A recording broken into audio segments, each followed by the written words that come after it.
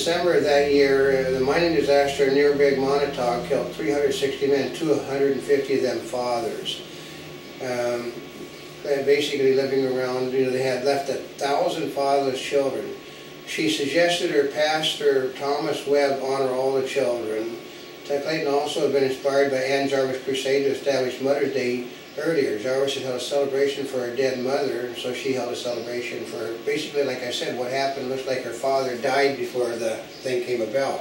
Because if you read it carefully, uh, she was honoring, mourning the loss of her father. And her father was supposed to give the sermon for the fathers. So I'll lay you odds they read his sermon mm -hmm. about dedicating this day to the, the fathers of these thousand children that were lost.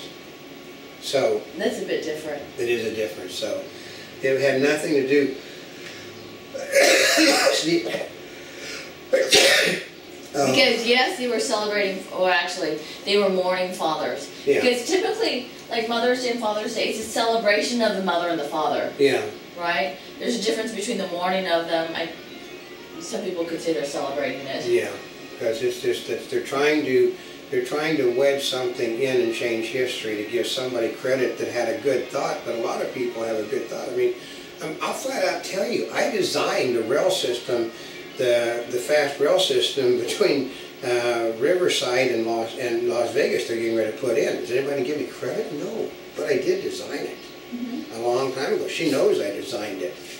Then a lot of people know I just, I mean, they're setting on the same bloody path where I figured it was going to go, and but I, because I didn't, you know, my name is all over the place. I don't get credit. A lot of people don't get it. My, um, my grandfather designed you know, that the, the, the pocket wrench that basically has all the, the reversible heads on it. You got like four or five heads here and four or five heads there.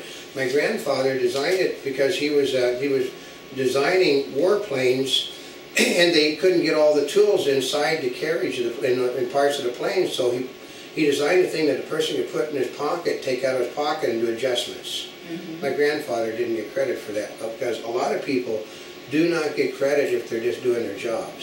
Right, and the credit went to the company. Yeah, credit went to the company. Mm -hmm. And the same thing is this woman probably did do the, for, you know, honoring her father, what probably was Father's Day, but it doesn't make any difference because the Congress of the United States has already recognized the other woman. They, mm -hmm. Congress does not change things. It will never change.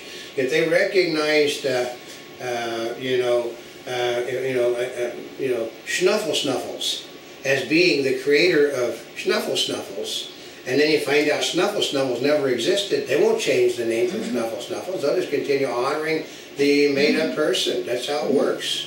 Because they will not, Congress will never go back and change something. It's never been done. Yeah, can you imagine to go all that time to agree on something? To yeah. get them to bring it?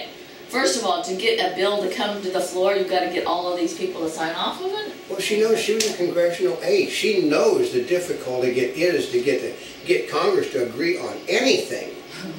It doesn't happen now. Well, think about it with you and your friends. Say you've got a group of 10 people. How often is it that a majority of you all agree? Well, actually, sometimes a majority. Let's say two-thirds of you all agree on the same thing. It never happens.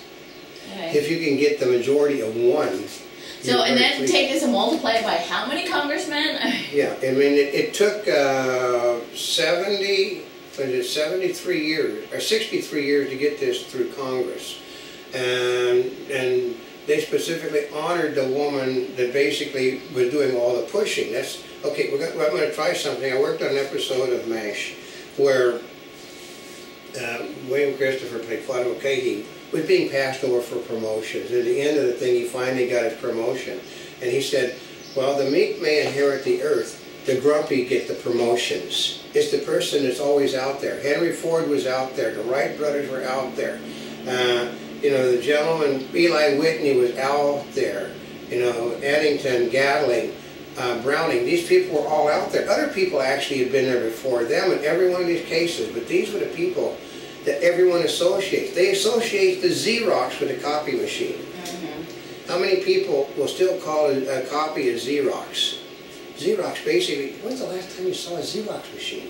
Mm -hmm. But it's the, it is the person that is out there gets the recognition. But this is just the amendment this year. I'm assuming. Which actually I've never seen before. I know. It, well, we try to give you something new every year when we do it, because otherwise you get bored. You get the same information. I think I just look at the other one. Because I'm gonna tell you the same family stories every year. You know, so, I know, I mean, this year I added the fact that she called my father up on, she called my father from all over the god awful world on Father's Day. Because she was, she was my father, said she, okay, she, uh, okay, we'll, we'll try to put it this way. My better half Angelique was Japanese American, and we lost her right before Not a Spring Chick came around. And they sort of adopted her. I mean, totally adopted her.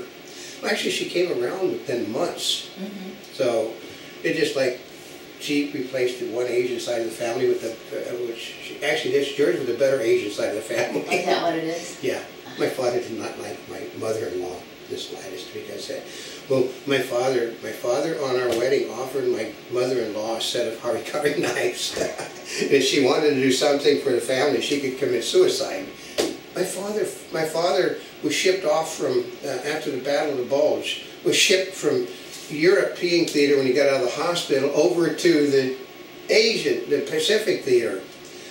And tank commanders in the Pacific were really stupid. There was no place to run tanks, so he did not. He was not happy with the Japanese. So. Mhm. He was also at Pearl Harbor when they got bombed too. So, Okay. so what you want to do is you want to marry a Japanese American. yeah, he liked her though. The mean little thing, you know. So, but, but no, this is our Father's Day, and we hope every year. We hope to continue doing this for years to come. You know, maybe someday, other than just Monty, she'll be able to talk to you for ten for uh, Mother's Day. So, and then then Father's Day from that time. Then then it'll all change because, well, you wouldn't be a father if it wasn't for me. Like I said, so I've heard that said so many times. You wouldn't be a father if it wasn't for me. So, which is right. So let's take me out to dinner tonight. Mhm. So until next time, this is Old And this is not a spring chicken. We're here yesterday, today, and tomorrow for more information. You can always go to www.montebubbles.net on the net. wherever you're watching us. Subscribe to us and follow our daily newscast in 3D. And thank you once again for over 40 million links on the internet.